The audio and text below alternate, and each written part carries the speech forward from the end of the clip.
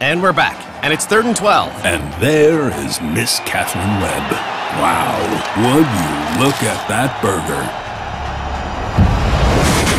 It is heating up in here. Am I dreaming, or is that blue cheese and hot sauce? Whoa.